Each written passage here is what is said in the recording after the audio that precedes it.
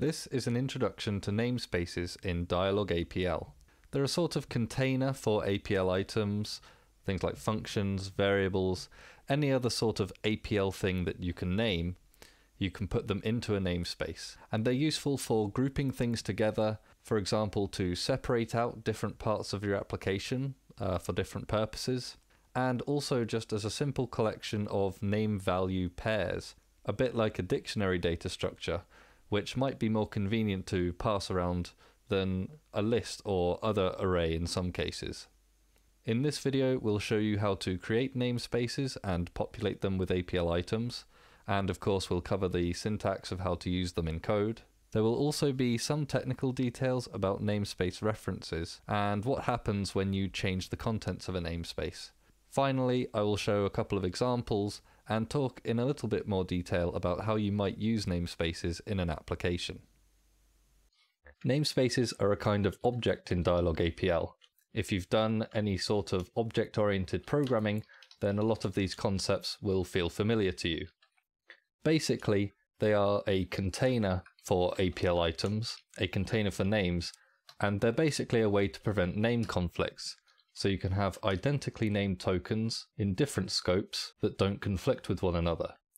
So in this example, both A and B contain character vectors called name, but name in A cannot be confused for name in B. There are other types of objects in Dyalog APL, including classes and their instances, JSON objects, GUI objects, but we won't be covering those in this video we can create a namespace by calling the system function quadns with an empty right argument.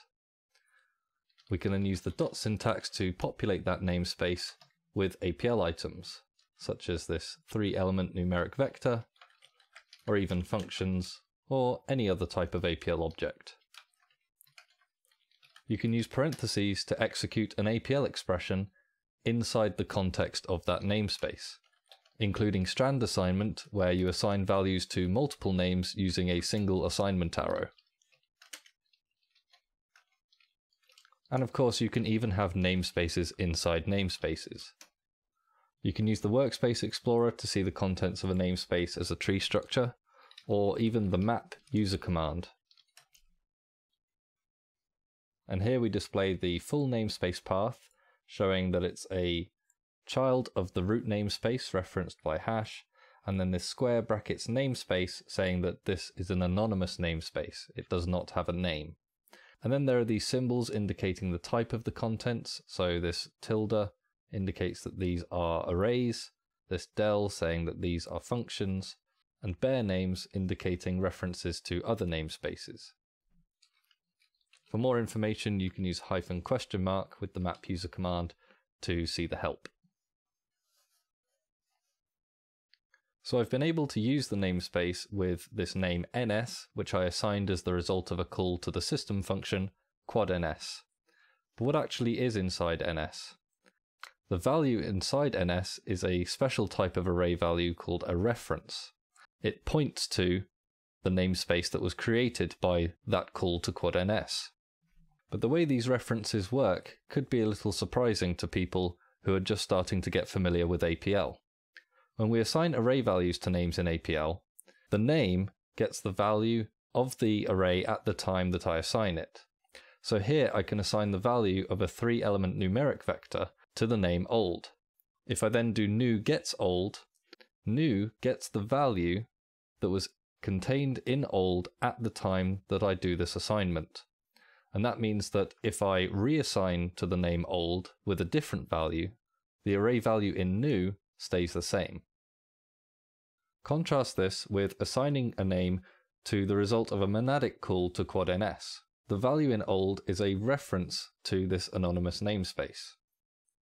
We can do old.var gets 123.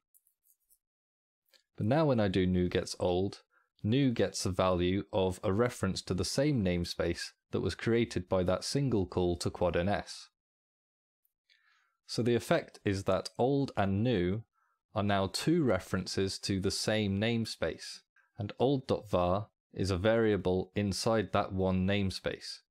This means that if I use old.var to assign a new value to that variable, both old and new are pointing to the same namespace which contains that same variable. And so if I check the contents of new.var, I find that that value has changed. So we said that ns is this anonymous namespace which lives inside hash. So what is hash? That's a reference to the root namespace. If we look at the map of hash, we can see that it's all of the names that we've defined so far.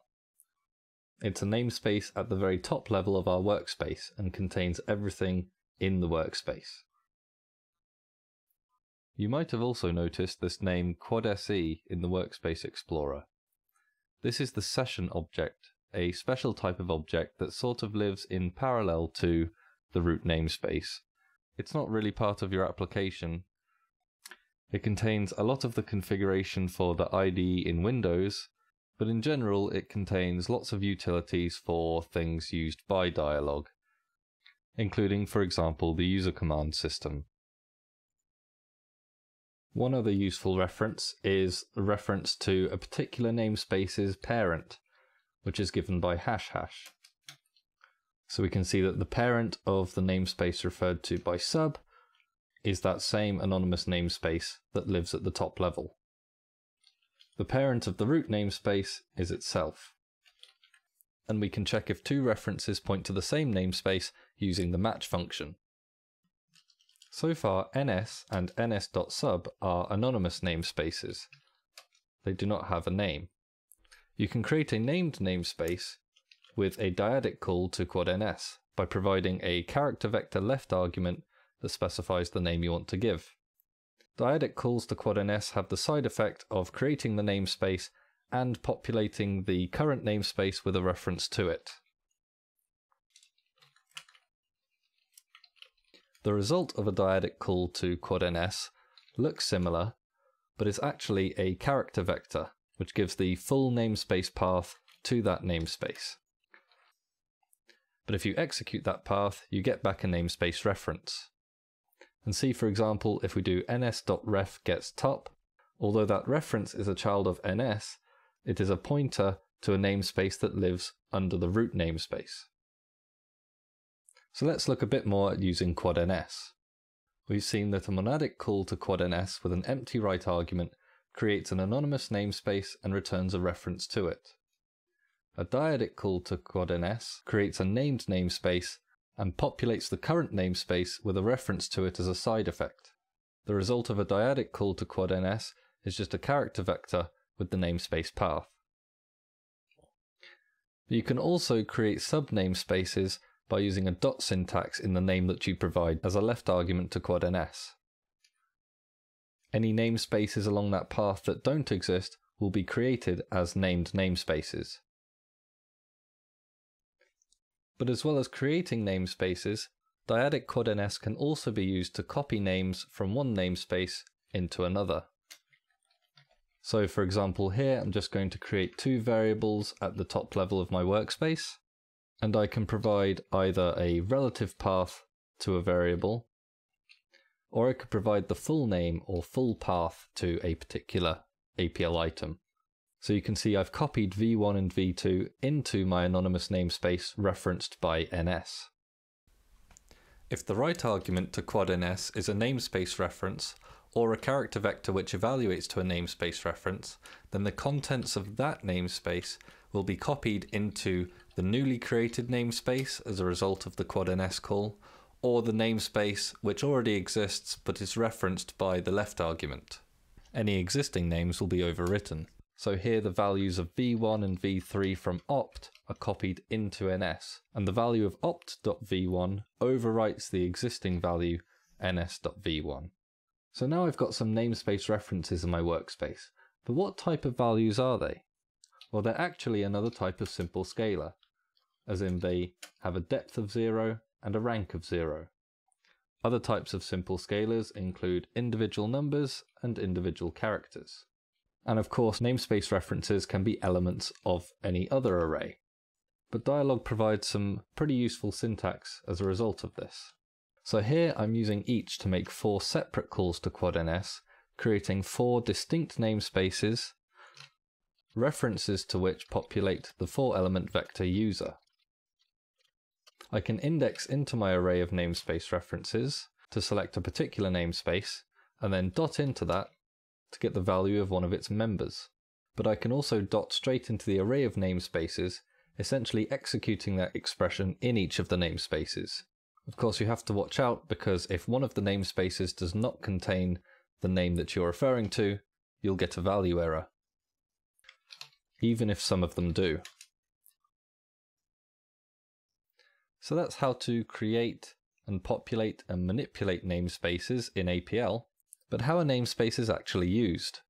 Well, one thing you can do is use namespaces as a way to organize your code base. So you can design your application as a collection of more or less distinct modules.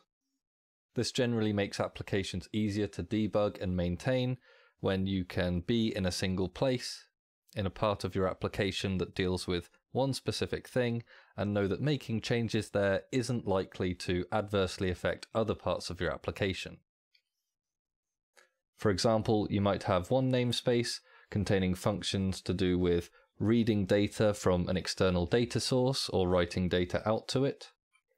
And you might have another namespace that just contains code purely for manipulating the data, processing the data once it's already in the workspace as APL arrays. This also makes it easier to extend your code, and also for distribution purposes, you could extract out one part of your application if you decide it would be useful for others on its own. And when you bring someone else's utility or code into your workspace, if you do that as a namespace, then you know that any function names or variable names within that utility aren't going to clash with other parts of your code base. Another thing you can do is use namespaces simply as a collection of name value pairs, somewhat analogous to a dictionary data structure. And you could write getter and setter functions for those. And if you're familiar with them, you might notice some similarities with JSON objects. Some types of APL arrays can be converted to JSON format using the quad JSON system function, but it can't, for example, represent APL functions. An object like this can be very useful to provide a collection of named parameters to a function. So in this example, options is unpacked into three member variables path, debug, and close, but it's here passed as a three element vector. And so path, debug, and close must be passed to the function as a vector in that order. Otherwise, the wrong names will point to the wrong values. It also gets unwieldy if you want to have lots of options, and if you don't want to necessarily specify all of the options, but you still need to have a vector of that length. On the other hand, if you set it up so that options is a namespace, then at the beginning of your function, you can create some other namespace containing your default values, and then you can use dyadic quad ns to overwrite those defaults with the values provided by the user. And in this way, although the user has to create a namespace, they only have to specify the options they want to change,